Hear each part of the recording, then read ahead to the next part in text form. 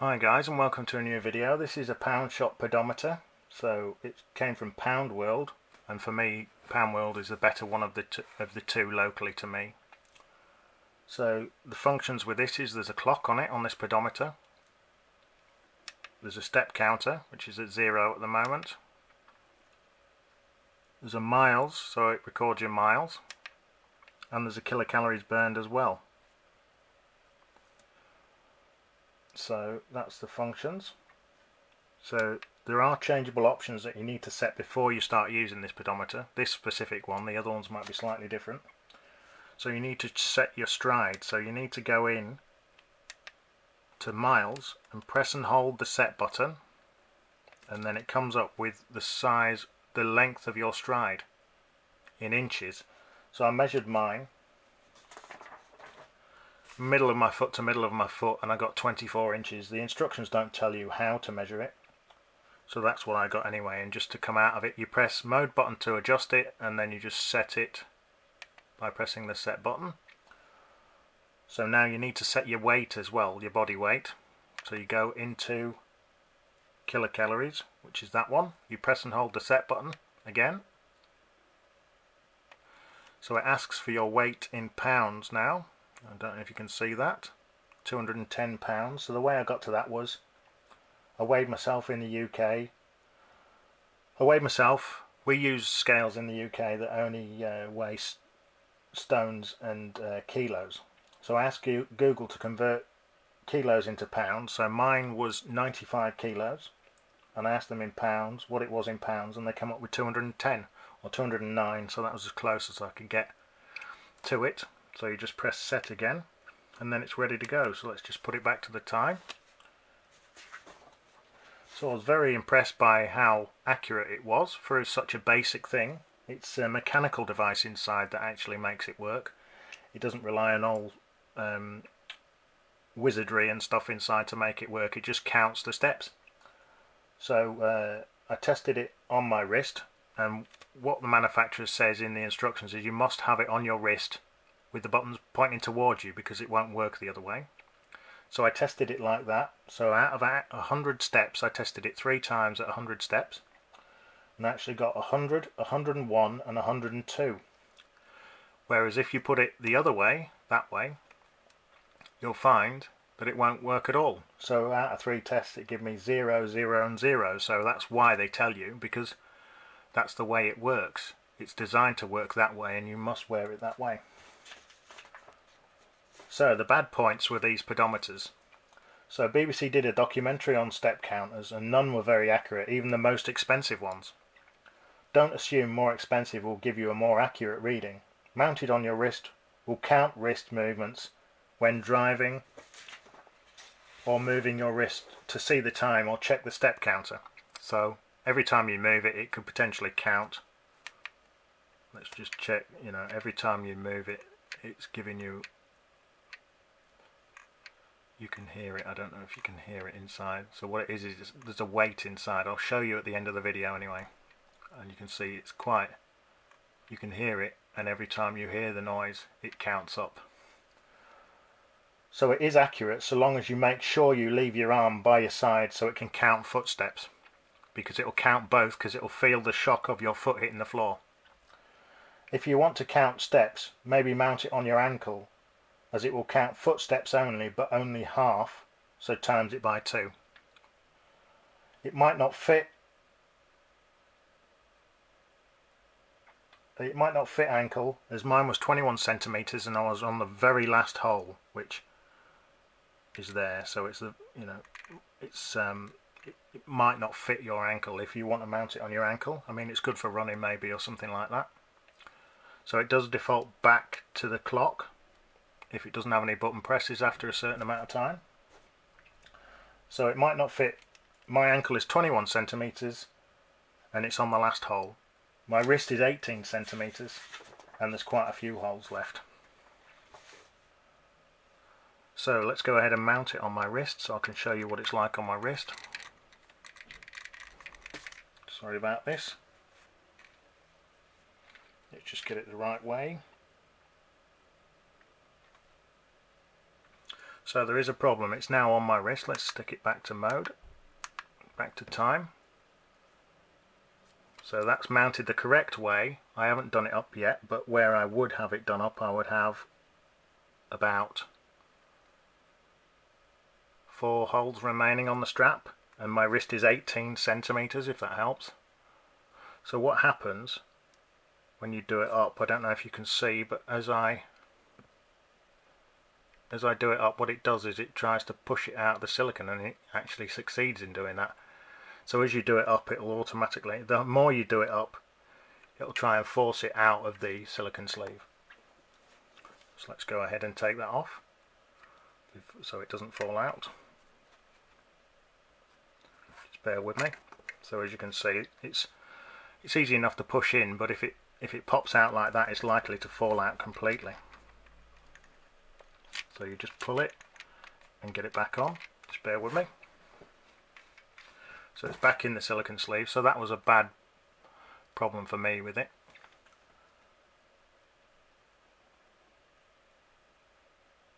Right, so just bear with me, sorry. I'm just checking. So it's difficult to read on the top of your wrist because you have to turn your you have to turn your wrist up like that. So so underneath for me, let's just pull that bit off, sorry. Underneath for me is the better fit because you can just see it just by looking at it.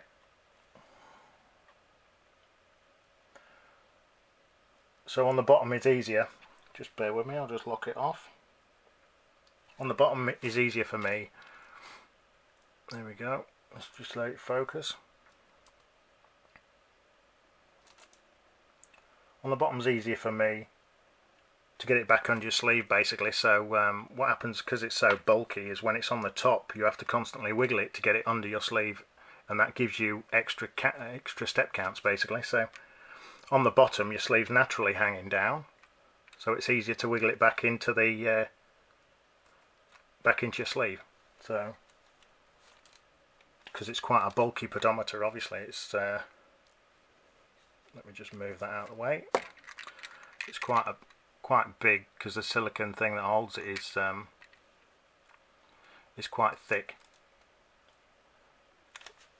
So it's uh, not a normal slimline one. If they even exist I couldn't tell you. So if you tighten the strap like I said too much the plastic part pops out which I can re reproduce there. So as you're tightening it up you can see it's opening the gap and then eventually it just naturally pops out. So it's not a fantastic design. Um, so I know they do watches where they're molded into the strap so it might be worth getting a pedometer if they even do them that are molded into the strap so they can't pop out like that. So this might be a good or a bad thing if you want to use it for something else. I mean you could potentially put it in your sock or something like that on your on your ankle if you didn't want to um, if it didn't fit, if the strap didn't fit. So this may be a good thing or a bad thing for you. So I understand now, after looking into this and thinking a bit, so I understand now why the manufacturers of high-end pedometers can't get the step count right, because some of them are only three quarters accurate. So because they have to guess what your arm is doing, which accelerometers and G sensors they use, so they they use accelerometers and G sensors basically to to try and guess what your arm's doing. And then they use software to decide what a movement is. And this is why they don't work properly because you could be you could be opening car door locking your door walking up the steps. You could be you know you could be doing anything brushing your teeth and that'll count as, as steps. So they've got to try and work out what is a footstep and what isn't. So it also has a clock as well which I'm showing you there you find the pedometer if you find the pedometer not very useful. So I'll, I'll leave a link in the description. Um, if you can't get to a power shop or they've run out uh, to a similar product and I'll just put a search term in the top and copy an eBay page and that'll give you all the results and you just decide which one you want if there's any different ones or bigger ones than this one. So let's go ahead and uh, show you the instructions. So this is the uh, this is the box it came in from the pound shop. So work, trademark, LCD wrist, pedometer, that's the code. This is just a basic box for transport. So that's the batch number and the uh, the import company that brought them in. So that's the size of the box it came in, that it was stored in. Let's just go ahead and show you the very, very basic instructions that came with it. So let's see how close we can get and it focus.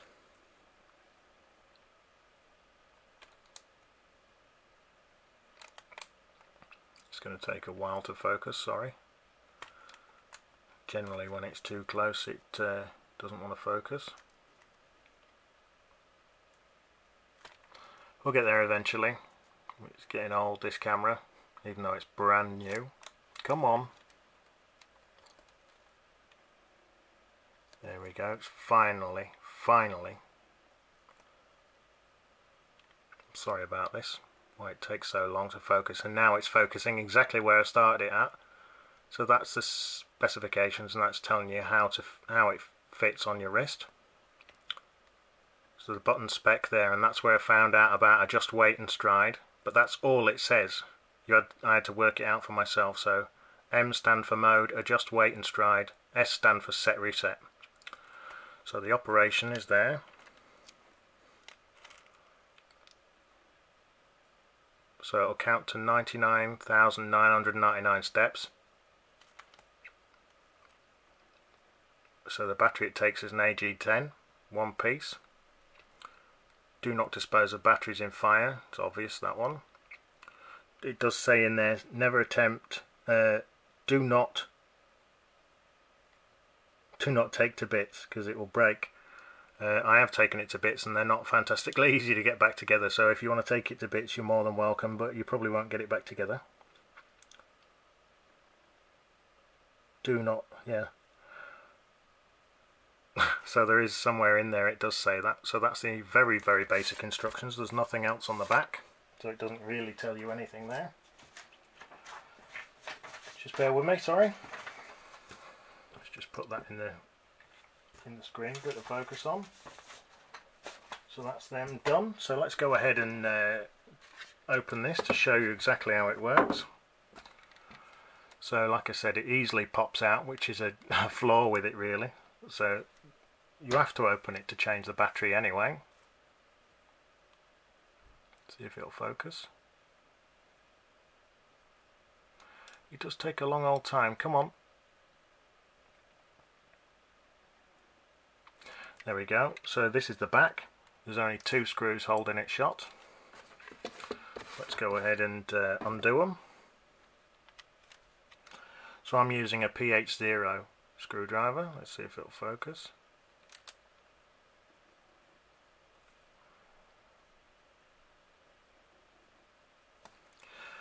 Won't bother anyway. It's a PH0 screw in this it's uh, you've got to be very careful when you open the back of this because I've already done it once.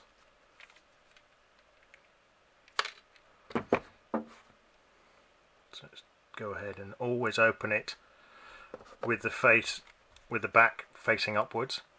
So that's what's inside. See if it'll focus. Come on. So there we go. So that is a very very fine spring basically that, that sits on those teeth on that balance.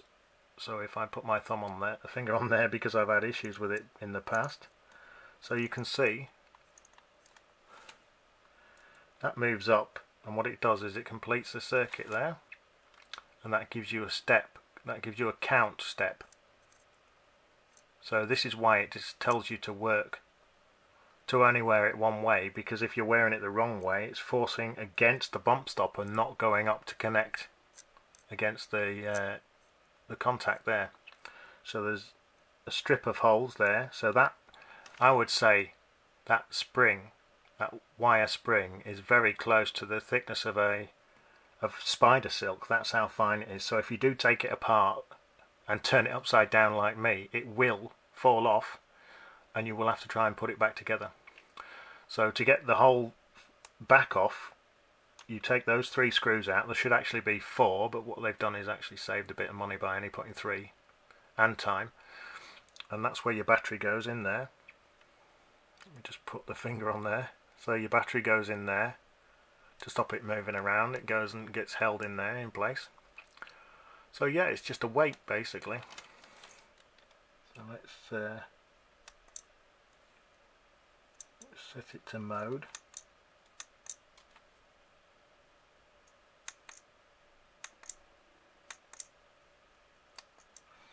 So that's the way it needs to go. So you can hear, as you can see, it's counting. Yep. So that's the way it needs to go, which will otherwise if you have it the wrong way it won't count at all so it's quite a basic design really basic works well you know in the three very very small tests I've done. So long as you make sure your arm's always down at your side you know just work with it. If you want a cheap pedometer that counts your steps then this might be the one for you. Why waste 50 100 150 200 quid on something that probably won't work as well as this does and does too many things? This does the very basics. And and it's just got a metal weight that just moves up and down. And that's the noise you can hear when it moves. So you can actually hear it counting. And then that metal spring there goes around creating tension to force it back down away from the contact. And that's it. So uh, hopefully if you want a pedometer um, maybe go for a quid one you know um, save a lot of money and it might actually be better than what's available out there at the moment for a lot more money. So thanks for watching guys and uh, check back soon. Cheers